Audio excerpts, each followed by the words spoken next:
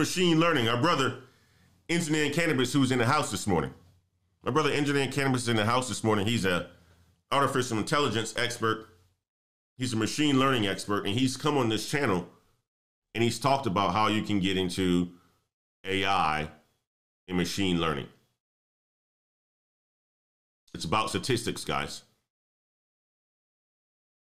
And you don't need a PhD to do this.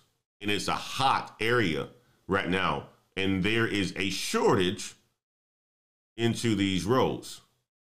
So it's an opportunity for you if you're in college or if you want to do a career switch to consider going into something like machine learning. And let's talk about it.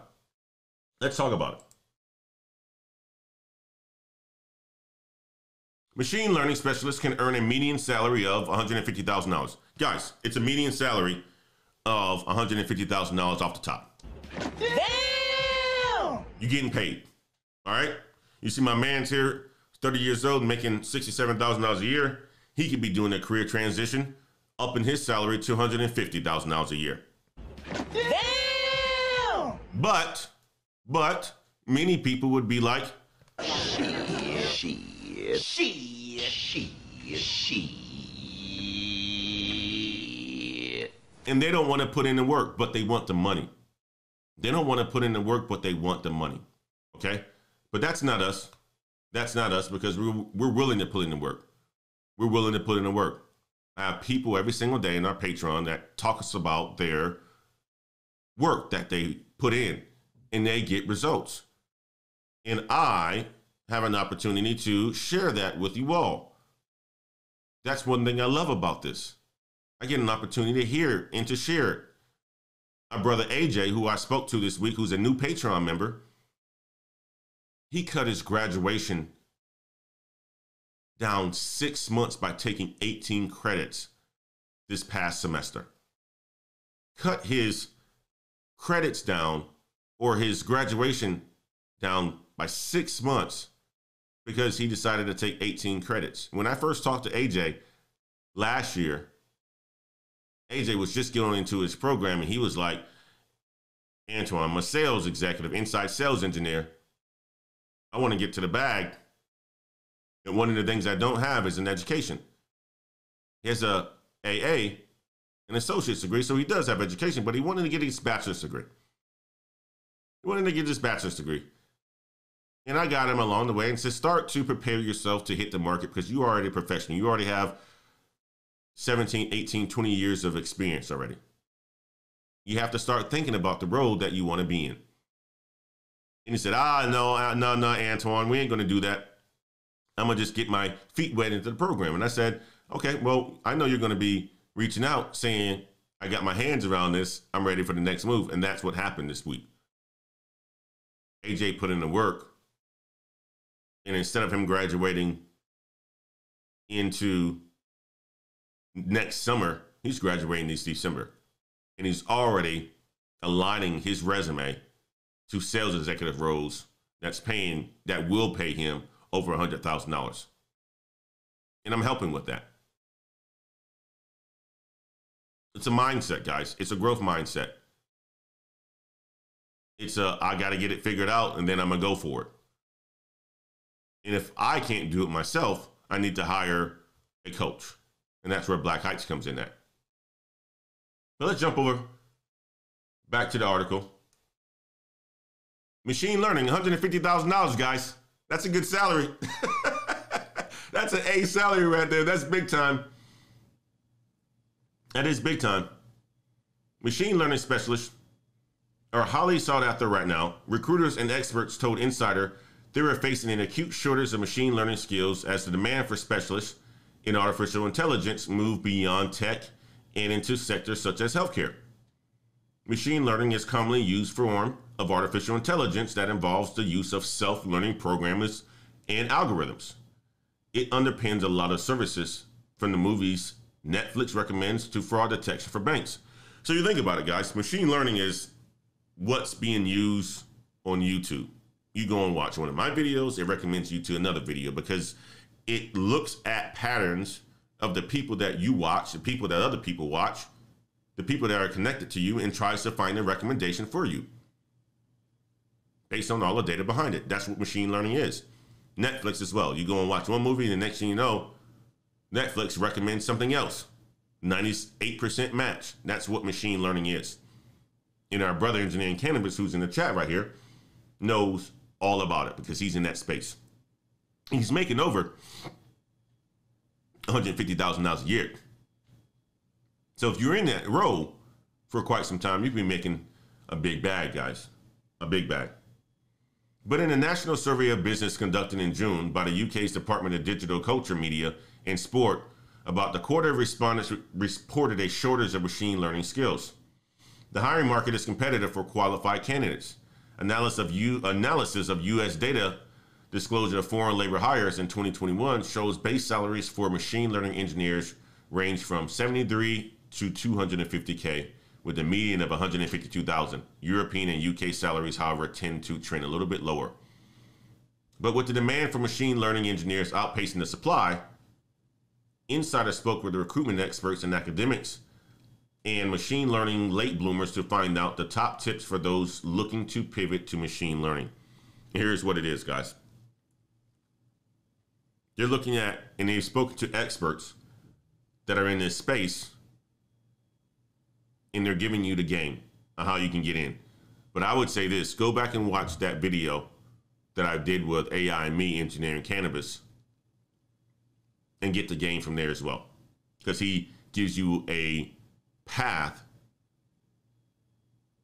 a simplified path of how you can get into the space.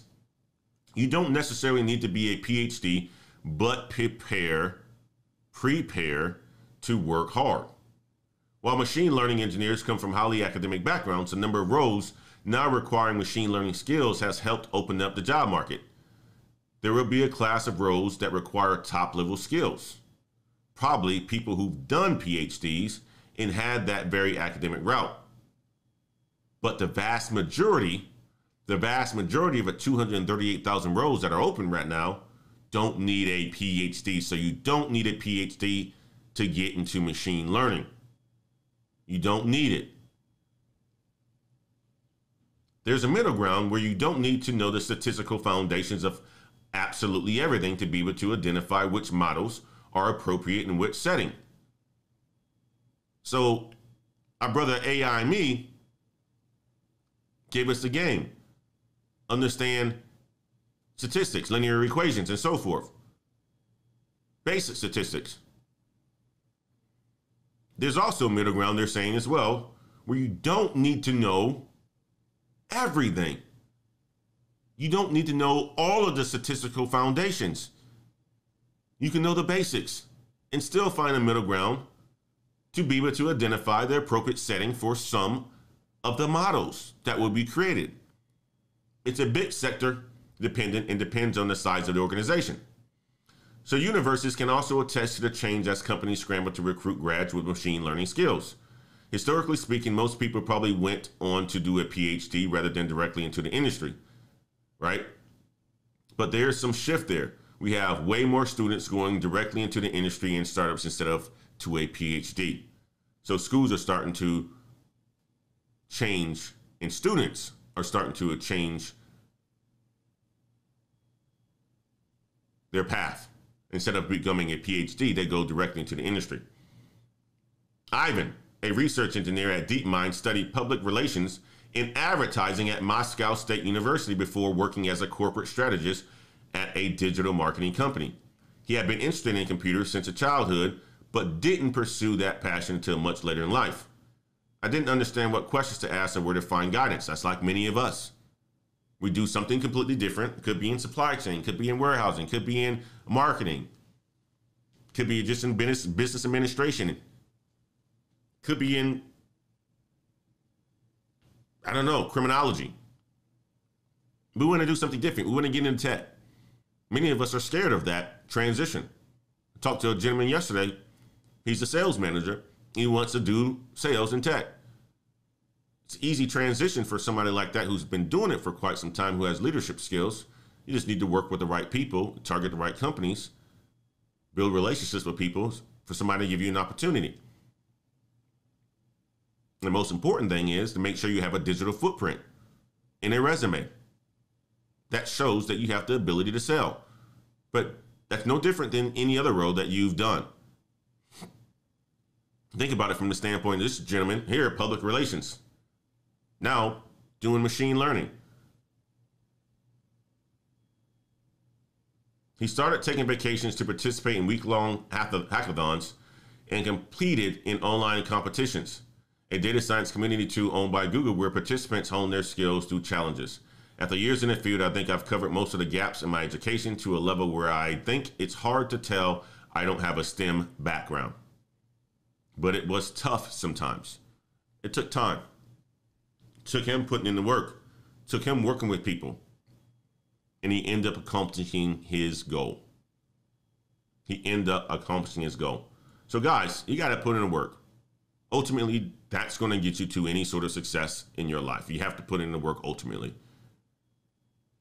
And just because it's a nice salary, like 150,000, it doesn't mean that you're going to get it if you don't put in the work. One thing I want to make it clear on is, you know, with this push for tech, I think there's some people that think they can come into here in a space earning 200K. No, you have to have the skills, you have to have the experience in order for you to get to that level. And I want to make that very clear. I want to make that very clear. Find ways to learn on the job or in your spare time. For anyone hoping to emulate Lobov, he said it was important for wannabe machine learning engineers to find approachable tasks that motivate you. I found Kaggle to be the most useful tool, he told Insider, but don't aim to be a grandmaster. Use them to motivate you to learn more skills, to go into the nitty gritty details of algorithms you're using. I had no formal background in machine learning or computer or computers, so I had to learn a lot from scratch while on the job. I found, or I would keep a running list of all the things that came up that I wanted to learn more about and would read up on them in my spare time. Frankie Hackett recently won the Rising Star in Tech Award of CogX Awards in London in recognition of her work at the AI firm Engine B, which is applying machine learning to accounting and auditing services, but she wasn't always set to be a techie. Winning a tech without being a techie. Winning a tech without being a techie. Let's talk about the third thing. Whatever your background is, don't be intimidated. Guys, it's an opportunity. But you you have to understand you have to put in the work in order for you to do so. You have to find tools, you have to find ways to learn, you have to do it on your free time a lot of the times as well too. Boot camps can help, yes. But if you really want something, you have to go and, and get it. You have to accomplish it yourself. Work with others to help you accomplish that, to keep you on path to accomplish it. That's why I am a big fan of coaching. Which, by the way, I got to get a coach for my new role right now to keep me on track with everything that I have going on. I need a coach. And I have one that I'm going to be talking to next week. Whatever your background, don't be intimidated. After earning an MBA from the London Business School, Sundaram launched a startup, Fosho, to help make supply chains more sustainable via AI. She learned the basics with the London School of Economics and Political Science online course, Machine Learning Practical Applications. Overcoming others' doubts was by far the biggest challenge, she said. I knew I was capable of mastering machine learning and AI, but as a woman in a business, particularly in tech, those around me had other ideas. This is a woman who has a MBA, right? Went to business school. People doubted her because typically in the tech space, it's a bunch of men. Just what the tech, what the tech space is. And she says, "Okay, I'm gonna learn it from my own. I'm gonna learn it on my own. Nothing's gonna stop me. Nothing's gonna stop me. Don't be put off by the hype and all the talk around how hard it is to work in this field. There is a lot of hype around artificial intelligence and machine learning. AI Me mentioned that in our discussion as well. Yes, there are tricky concepts and challenges, but it's not magic. It's not beyond you. Find people who can explain things in simple terms. These are normally the best people to help you learn and grow. an unconventional background can work to your advantage, guys. Transitioning from a different sector can also be a great advantage. People with very a, a variety of job histories can or come up with a whole list of transferable skills. DeepMind's Fatitha, uh, Fatiha, sorry, agreed, telling Insider there was a real need for a diversity of perspectives in machine learning space. Another thing AI and me talked about, right? Because if you're building programs and you only have a certain view on things, it may hurt other people. Diversity is very important. That's why we need to be in these spaces. And he mentioned that in the conversation that we had. Court judgments, all sorts of things, AI and machine learning is being used. And if the right people with the different thoughts are not being the ones that's being included into these programs,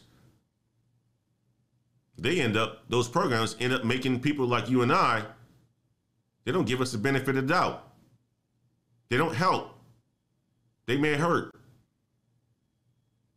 So it's important for us to get into these spaces.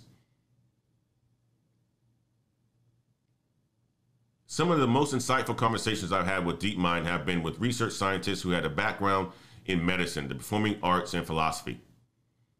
As for reskilling or as for a reskilling process, candidates shouldn't count themselves out over a lack of technical experience. That's it, guys. Four tips that you can get into this. And at the end of the day, if I was to summarize this, just work hard, guys. You don't need to have a PhD, right? Find ways to learn on your job. Have your job send you to a boot camp or Find some tools that's out there that will help. Do it on your spare time. Wake up on a Saturday morning like I wake up to give you guys this game. Spend an hour. Spend an hour on learning something new. It's going to be more than what your peers are doing. Don't be intimidated if you have a background that's not into tech. And that's what most people are intimidated by. And I share this all the time. You have transferable skills. You have transferable skills. Tech, it's just you working for a tech company, which typically tech companies are growing and they pay higher. Getting into tech is no different than you just working for a tech company that have a product or service to sell. You don't have to be in a technical role because that's just not your sweet spot. But you can still be into tech, have a non technical role, and still make a shitload of money. A lot of money, guys. And if you go into sales, you can make a shitload of money. I've shared, shared that with you. You can have an unconventional background and do this as well. Philosophy, arts. You can transition into a role like machine learning.